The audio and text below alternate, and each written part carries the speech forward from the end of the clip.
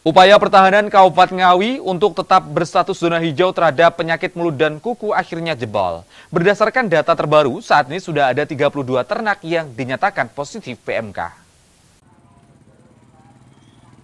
Berbagai upaya mengantisipasi munculnya penyakit mulut dan kuku atau PMK dilakukan Pemkap Ngawi, mulai membuat checkpoint di wilayah perbatasan, intensitas pemeriksaan ternak, hingga sistem buka tutup pasar hewan akhirnya tidak menjamin akan terhindar dari wabah PMK yang menyerang ternak. Berdasarkan data dari Sistem Informasi Kesehatan Hewan Indonesia serta aplikasi siaga pmk.id, puluhan ternak warga di Kabupaten Ngawi telah terjangkit PMK.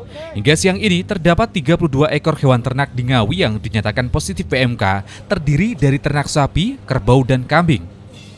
Kepala Bidang Kesehatan Hewan Dinas Perikanan dan Peternakan Ngawi, Wakidah Suryandani menjelaskan, ternak tersebut tersebar di Kecamatan Ngawi, Wadungan, Padas, Pangkur, Widodaren, dan Karangjati.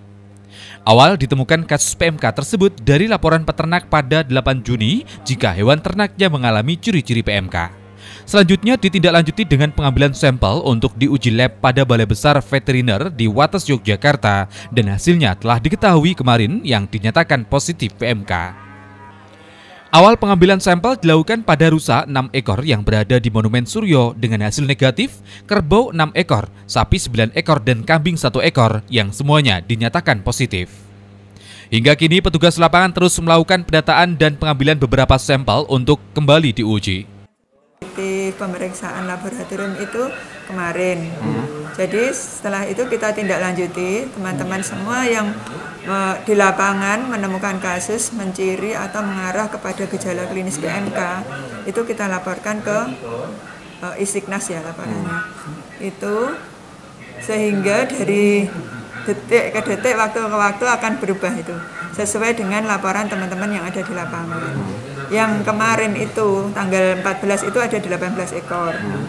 Terus hari ini ini tadi ada yang informasi 31 ekor. Hmm. Ternyata sampai di, sekarang tambah lagi bisa jadi 32 seperti itu. Hmm. Jadi ini data terus update terus sesuai dengan laporan dari petugas yang ada di lapangan. Ini statusnya sudah positif atau baru terindikasi, Bu?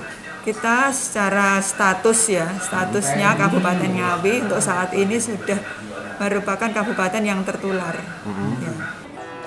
Wakidah menambahkan, hasil temuan itu maka ditindaklanjuti dengan pemberian obat-obatan bagi yang sudah terkena PMK, termasuk memisahkan ternak yang positif dengan yang sehat, serta mengimbau peternak untuk segera melaporkan jika menemukan gejala PMK pada ternak mereka. Itu Wahyu, CTV, Ngawi.